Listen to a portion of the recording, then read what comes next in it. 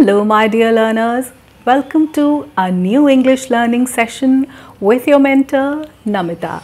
And from now on, on this channel, I am going to upload proper English learning classes for all those learners who are serious about learning good English.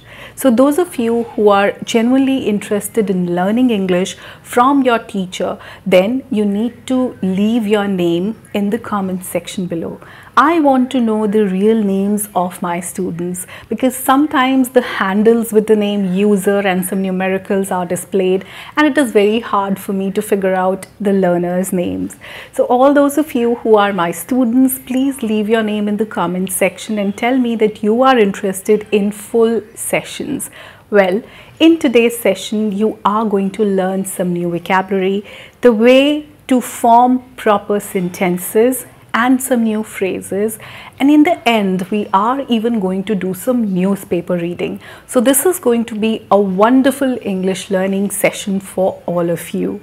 So as we all know that this is that time of the year when we are experiencing beautiful rains of the monsoons. So i thought what else could be the best topic other than rains. So the topic for this session is rains and everything would be circled around rain. You will get to learn new expressions and by the end of the session you'll be able to express yourself very well by forming proper sentences and by using good vocabulary. Let's begin this session now. But make sure that you're sitting with a pen and notebook to note down all the new things that you're going to learn today. Rain is not only drops of water. It's the love of the sky for the earth. They never meet each other, but send love this way. And otherwise also you already know that if you want the rainbow, you gotta put up with the rain, isn't it? Alright, now let's move to the expressions which are related to rain. The first one is it's drizzling. It's drizzling. Now, drizzling is used for very light rain. When there are only fine raindrops, we say it's drizzling. When it's not raining heavily, it's a very light rain, then we use drizzling. Let's look at some of the examples. We can just quickly go out and grab something to eat as it's just drizzling. Alright? The next expression is the rain isn't too bad. It's only drizzling. You can also say that the drizzle has stopped now and the sun is finally breaking through. So you can use drizzle, drizzling only for the light rain when the rain is really fine. So you can use it's drizzling. Now, when it is raining, when there is just normal rain, you know it already that we say it's raining. It's raining. In an example, you can simply say, while coming back from school, it started raining. And by the time we reached home, we were completely drenched and cold. Now, you must have seen this word drenched that I have used here in this sentence. Drenched means fully wet. Now, you can always say we got wet, we were completely wet and cold. But when we are talking about advanced English, when we are talking about speaking English in a good manner, then we need to use the word drenched. So instead of saying wet, try using drenched. Similarly, you can also use the word soaked. Soaked also mean fully wet.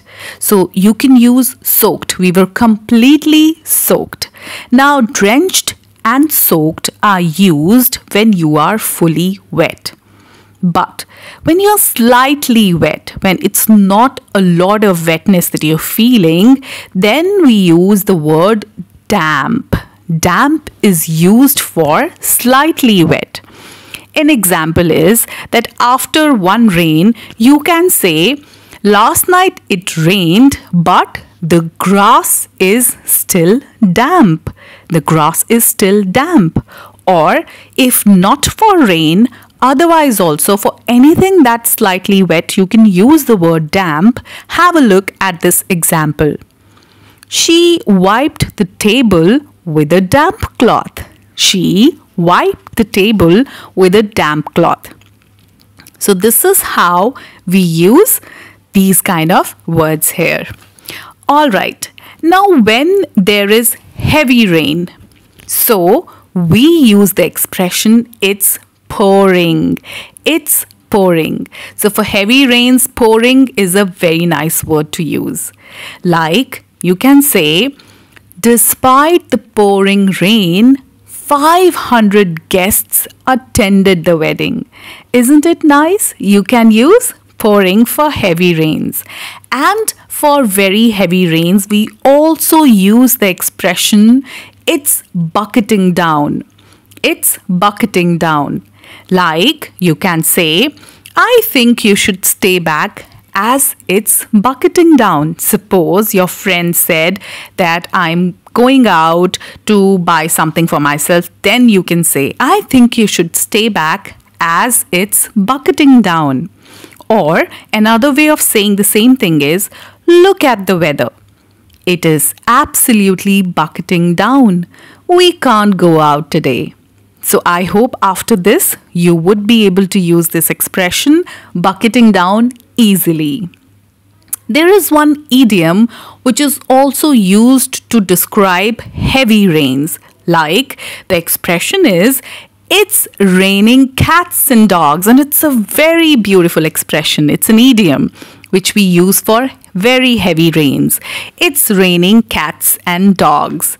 So, to use it in a sentence, suppose you are not going to go for your tuition classes today. You can say, I didn't go for my class as it was raining cats and dogs. Yes, as it was raining cats and dogs.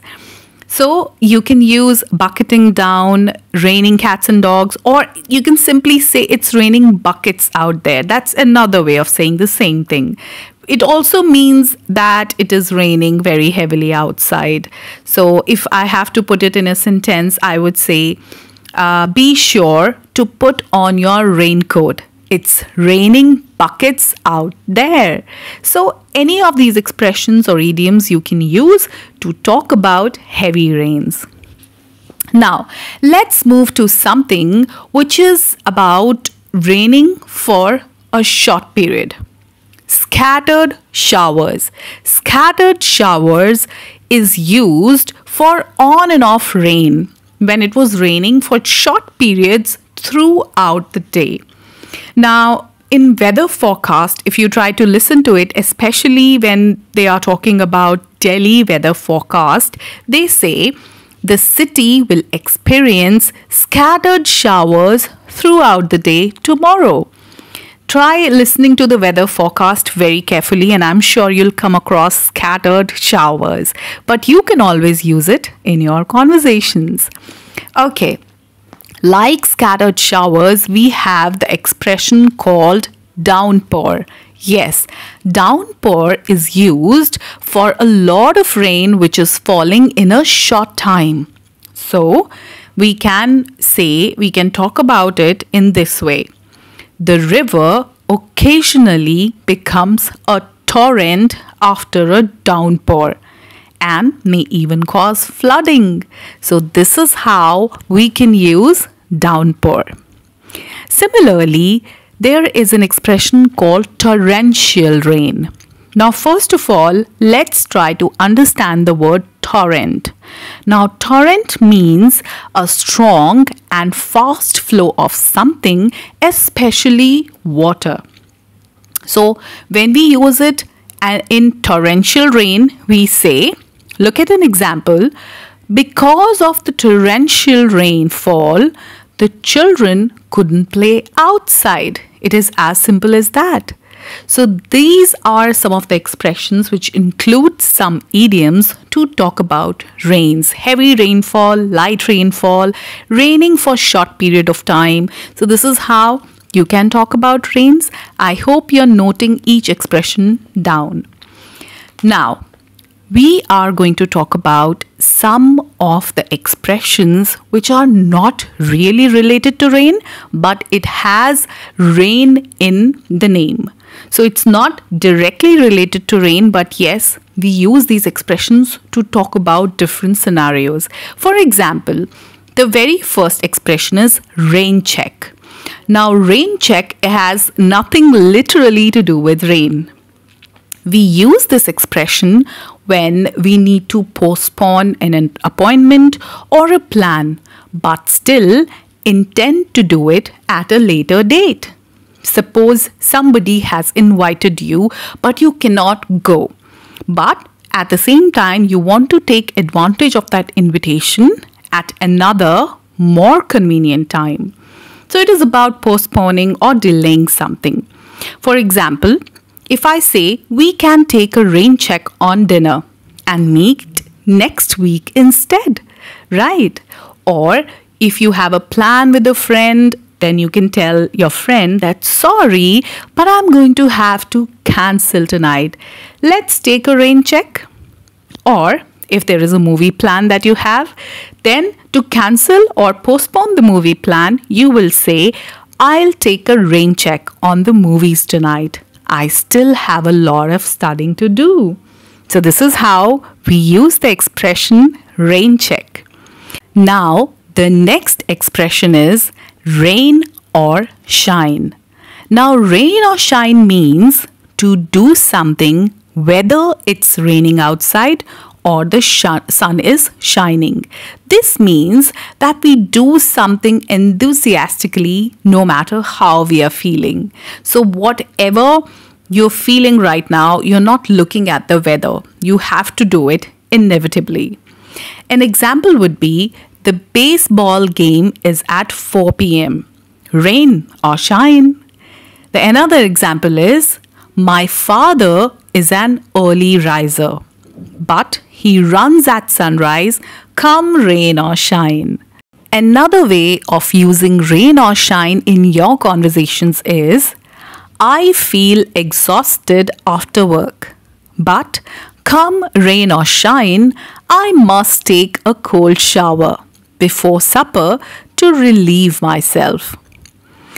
The next expression is saving for a rainy day, and this is a very common expression. It means to save or keep something until it is truly needed. When we save something, we keep something, especially money, for when it may be needed in the future. Then we use the expression saving for a rainy day. Let me give you some examples to make it more clear to you. I don't like to spend much of my earnings because I believe in saving for a rainy day. Let me know something about your belief related to saving for a rainy day. Okay, another way to use it can be I got a gift card for my birthday, but I'm not going to use it now. I am saving it for a rainy day. So now you can use rainy day expression into your everyday conversations. The next expression is rain down on someone or something. Now, rain down means to criticize or praise someone continually. When you actually, it, it can be used in both ways for criticism and for praise. Let me give you an example. The boss just loves to rain down on her employees with criticism. Now, this was for criticism, but exact opposite of this can be the boss has been raining praise down on Janet all week for the work she did. So, this is how you can also use rain down. The next expression is right as rain. Now, this means that we feel fine and it is often said after we have recovered from an illness. Basically, we use it for feeling well or healthy again after an illness or injury. The perfect example can be I have recovered from my cold now and I feel as right as rain. Or suppose your friend says, Oh, I have a headache. And then you can reply by saying, You just need a good night's sleep. And then you'll be right as rain again. So I hope it is clear to you how you can use right as rain. The next expression is no rain, no rainbow. And this one is my favorite. It means that good things can't happen unless something negative also happens. Let's look at an example. Try to have enthusiasm about going for a walk every day, as there is no rainbow without rain. Let me give you another one. My mother always tells me that positive things usually happen after or alongside bad things. And it's true that there is no rain, no rainbow. So you can use this expression as well. Now let's move on to the next expression, which is be rained off. It means that something was cancelled due to bad weather. So being rained off, rained off is used for cancellation, especially due to bad weather. Now, the perfect example is the cricket match was rained off they are going to reschedule it for the next weekend. Or today's exam was rained off and will be scheduled for tomorrow instead. So, this is how you can also use rained off in your conversations. Now, the last expression is when it rains, it pours. So, when it rains, it pour means that when something bad happens, it's perhaps inevitable that other bad things will happen too. Basically, I'm trying to say is that bad things happen together or something good or bad occurring multiple times within a short span of time. Now, Let's look at some examples and I'm sure then it'll be completely clear to you. Well, first they had the car accident and then this fire burnt half of their house down. As they say, when it rains, it pours. Or another example can be first, he had a terrible accident. Then his wife had a heart attack. Really, when it rains, it pours. And now I'm going to give you a conversation which will help you understand this one phrase clearly. When it rains, it pours. Suppose the first friend is saying, is asking the other friend, How are things coming along with the interview? The second friend said, So sad. I woke up early and prepared carefully. However, my car was broken on the way to the company. It took time to come here. When I came, my turn was past. Now the first friend can say, Oh, that's bad. When it rains, it pours. Now, you can also use these expressions in your daily conversations to switch from basic to advanced English. All right, so how was it? I believe that you have learned a lot of new vocabulary, expressions, and phrases, and you would be able to use all of them very easily after practicing a little. It's time now to do the reading. You are going to read an article along with me.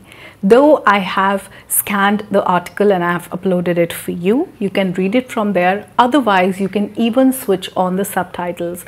But as I'm speaking it along with you, you'll be able to get the proper pronunciation of the words. Let's get into some reading task now.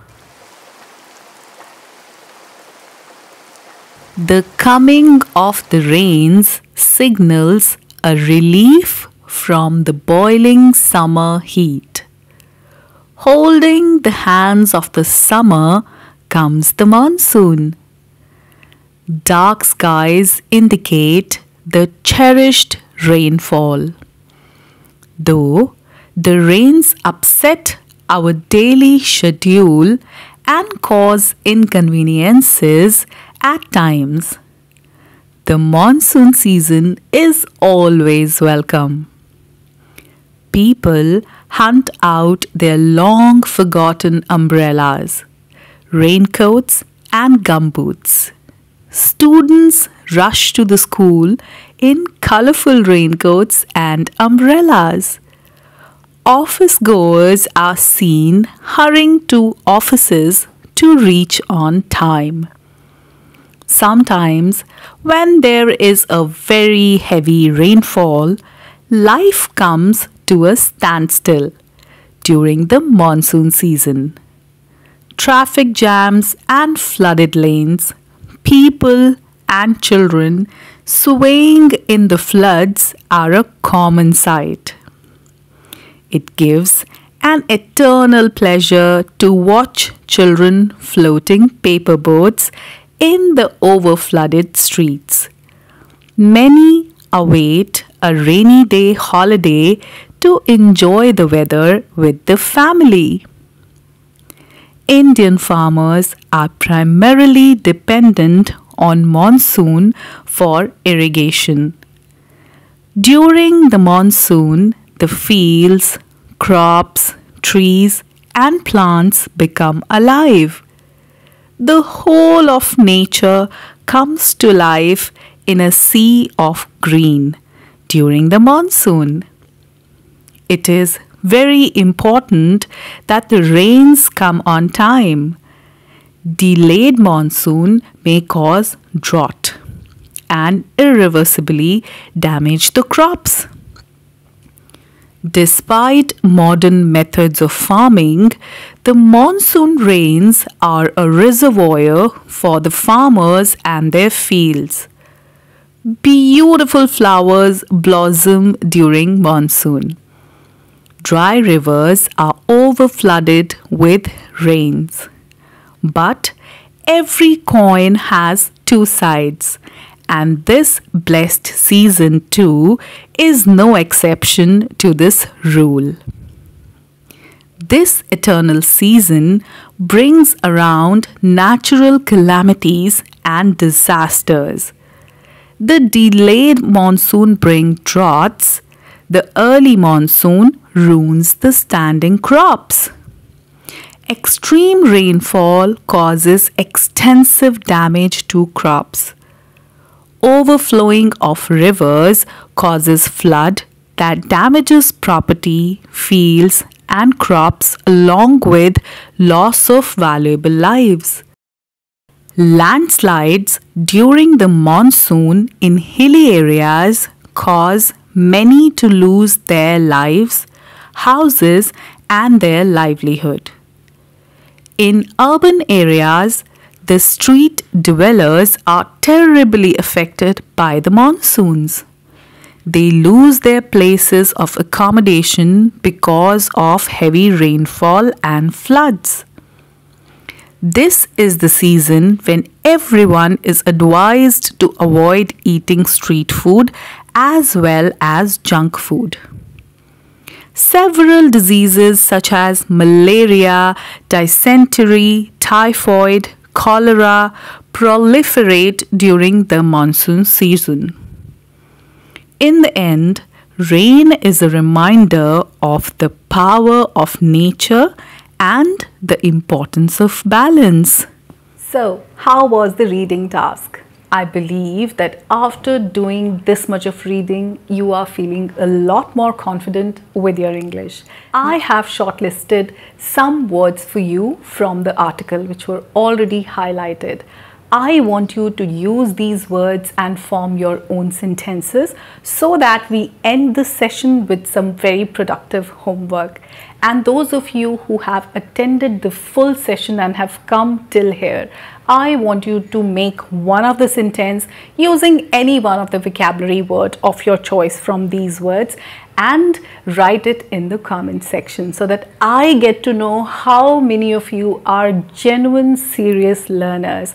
I would give a shout out to the students who are attending all the full sessions and who are curious for a lot more that is coming on the way. So if this session was productive and you got to learn a lot of things, then leave a comment, like this video and share it with your friends. I'm going to see you in my next session. Till then, keep working on your English. My best wishes are always with you. Bye-bye.